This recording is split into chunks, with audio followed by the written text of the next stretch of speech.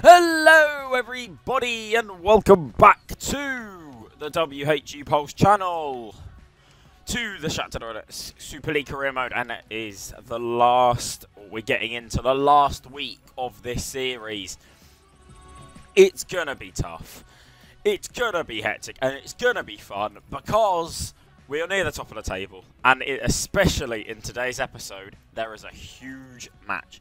But we're just going to go have a look at what the board we wanted to learn. We're, we're doing well with the board after our terrible start, we will say. But there are 15 games left of the season. If we play three in each episode, which we are going to do, that is five episodes. So the series, or not this, well, this season should end on Friday. So, we go over to the office, we go have a look. We've got Zubkov sold, he will leave. We've got Kestalejo, we've got press conference, and then we've got a final scout put on Yerry Mina.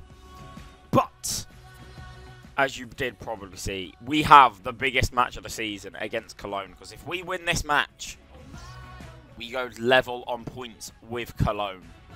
And that could be huge. And other than that, other than uh, Cologne in today's episode, we will be playing Torino and Lokomotiv Moscow. We will go double check where Lokomotiv Moscow and Torino are. Lokomotiv are 8th and Torino are down the bottom, I do believe. Yes, 22nd. But the Cologne game is the big game. So we're going to go to the squad and we're going to have a look. Obviously the team is going to be the same. You saw me in the last episode, I do believe. Uh, we bought in some new players. We bought in Jedas. We bought in Coates. We bought in De Vrij on a pre-contract. We bought in Vukovic. Um, I know this wasn't in the last episode, but we bought in Hradecky on a pre-contract. So I thought we made some uh, good signings in the transfer window. We're moving up players. Hopefully we can move up. Otherwise we'll have too good of a side to play in League One next year. And I'm hoping we can be in the Championship for next year. So, as always, we will stop jump straight into the game against Cologne, and I will see you at kickoff. And we here for the kickoff against Cologne, the biggest match of our season. Well, the biggest game later on in the season would be bigger than this, depending on the result of this. But at the current moment, it is a huge match. And as always, I will see you when there is some action, and that is Kozielo on the ball here for Cologne into Sorensen. Here's Höger. He's great form in midfield. Cordoba. Same thing. Marega on the ball. Here's Fred. Plays it over to Golovin. Dodo. Making sure that each pass is Golovin tried to flick that through Bernard, but doesn't quite come off. Here is Bittencourt. Is Malay. With um, some sharp movement. Marega. Coyote. Here is Marega. Cuts inside. Squares it. Jedas. It's a ricochet, but it's gone in. 1-0 to Shakhtar. Jedas with the finish. Get in there. Nice goal indeed. Well, it wasn't a nice goal, but it's a good goal for us because that is a huge goal. If we can hold on to this, it was ricocheted. It's going to go down as a Timo Horn. Yep, Timo Horn own goal. It doesn't matter. The ball's in the back of the net. 1-0 Shakhtar. Do it with an own goal. Right, Höger, straight off the bat after kickoff. Here's Merry. Golovin. Marega.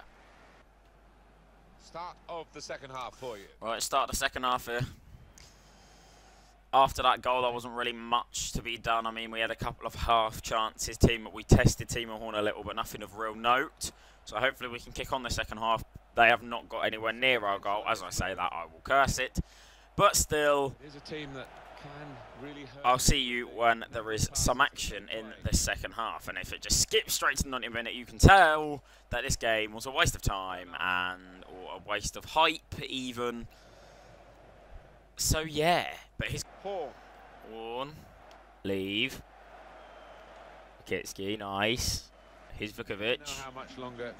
Fred. Bernard. Right, Marega. Here's Bernard. Bernard. Sees that run out. Carried over the strike. It's not full time yet, so. Right, Marega's gone off. I can't quite. Oh, Kovalenko's come back on. Right, can we try and hold this out? Right, Wellington Nem's nicked it. And it's a 1 0 win for Shakhtar. That's a huge result in the season. We go level on points with Cologne. We should at least be in second. We might even be joint top, and I'll see. Torino, And we back. Malaga, As you can see, Ajax, 3. we are technically joint top of the table. If we just go look through all these scout reports quickly, but the big coup so far, and it is huge. There are three sides battling for the two promotion spots and even first place. The only thing that's letting us down right now is nil. the amount of goals we've scored. Let's see what that Uh, we've got one of the best defences in the league. In fact, we've got the joint best defence in the league. But the amount of goals scored just isn't good enough. But only behind But on the two matches coming up against Lokomotiv and Torino are huge of the fact that we can't afford to drop points if we want to stay in this position. Nice with 40. So there's not really going to be much. I might, I'll show you the team that I change around. Obviously, it's awesome to change of the teaming, but Second bottom. I actually don't know what the season's going to entail. Obviously, it should be done by Friday, On well, maybe even Saturday. Fourth bottom. But with 30 points. we could see an interesting end to the season. Obviously, we get all these. Yeah, goodbye. Right, unfortunately, I am going to have to blow a backup side. Maybe not. Right, Piotr will stay in goal. Butko, uh, Krichov, and Sinkgraven. We'll keep Golovin in the midfield, and we'll bring in Julian Weigl. Uh, we will go with Wellington on the on the right. We will go Kovalenko there and Petrak on the left. With you know what? No, not Marega. Roger Martinez deserves a start up front. You know. So that's going to be the side that plays Torino in the next game, which you will see. We are here at the Odromo for the match against Torino. I can't remember what the score was at the start of the season, but just seeing playing Torino now, I you will see it like you probably guess. I'm actually going to go put a striker on the shortlist I'm interested in for next year. You've probably just seen him go on the screen, but it will be Belotti that I'll put on the transfer or the sh- uh, uh, shortlist. Yes, but anyway, hopefully we can get a win. A draw, I will be. I won't be happy with. Niang. It was played in Belotti with a tackle, or Critchell with a tackle. Right, here's Niang. Podence. Rakitsky. Weigl. Kovalenko got the ball. Uh, Kovalenko. Can we get a last minute goal at the break? Here's Petriak. Is through. Petriak placed it over the bar, and that is half time at nil nil here between Shakhtar and Turin. Right, second half kicks off with Roger Martinez. Hopefully, I've, s- I think we were the, actually no, I've, it was a, it was even. Both sides of chances, so this game's still in the balance. And as always, I will see you when there is some action. Kovalenko, Ak- Acquah, Belotti, Given away once more. Niang, Keep you right up to date during this match with what's Sink going grabbing. And here's Alamakan. Here's Nem. It's the second goal for Eintracht Frankfurt. 49 minutes played.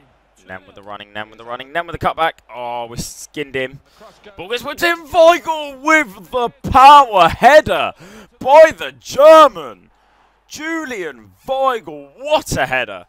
1 0 Shakhtar because of the CDM. Julian Weigl coming up from DM and parrying it into the back of the net.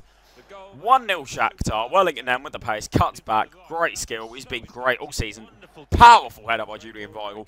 1 0 Shakhtar. For the way he lost his marker there, good movement in the box.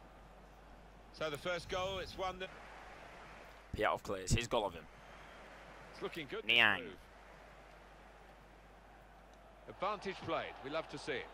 Right, Belotti. That's good support. He's got his shot off. What a strike! They've got the What a strike! Oh, okay then. That yeah, that, I definitely think in the summer we are making moves for Andrea Belotti. If he can hit a ball like that, he's definitely coming into this club. Well, as long as we can afford it. Great turn, and yeah, He took a little season. It'd be nice if my striker would actually run. But anyway, here's Jedas. This attack. Ball gets whipped in. It looked Just past. Kovalenko. Butko's going to get there though. Butko, the right back. Butko with the ball in. Ball in. Julian Weigl's there again. Julian Weigl is on fire right now in this game. The second header is scored coming in. He's causing havoc at the defence. He just causes so much trouble. Look at this. Great play by Butko. Great ball in, and Julian Vogel making the run again and powers it past Salvatore Sirigu. That could be another huge goal for this season. Now we have to hold on though. And yes, you could probably see in the bottom left hand corner that I am parking the bus. I want these three points. Aqua, the team could be quite so impressive themselves. Yeah, they're doing their bit. Fred. They really are. So Vukovic. It's Kovalenko. transfer onto those players down on the pitch. Vukovic comes in with a challenge. Oh, Falque. Falque and Kulu. It's a goal kick. goal, Who fit Piatov? Get this out, get this out, get this out. Roger Martinez with the header. 2-1 win. There we go. There we go. Come on. 2-1 win. That is huge. Thank you very much. I'm sorry, guys. This seems to be a recurring thing on my channel. But I'm going to have to end the video early. Personal reasons, I'm sorry. I've just... But then again, it does sort of add tension to the like the season. Because how many games we've got left now? What, 13? Yeah, 13 games. They're big games. They are big games. But yeah, I'm sorry. Uh, that has to be. Uh, this has to be done. Uh, the I'll still try and get the series finished by Friday. Maybe Saturday, maybe Sunday. I'm sorry, but it will definitely be finished this week. Don't you worry. Okay. But as always, I hope you guys video enjoy, uh, videoed enjoyed the video. If you did, smash the like button, hit subscribe. Look forward to the FIFA 9 content coming out very, very soon. Early access comes out on the 20th, I believe. It needs to happen and quick. but, on the last of that, as always, I'll catch you later.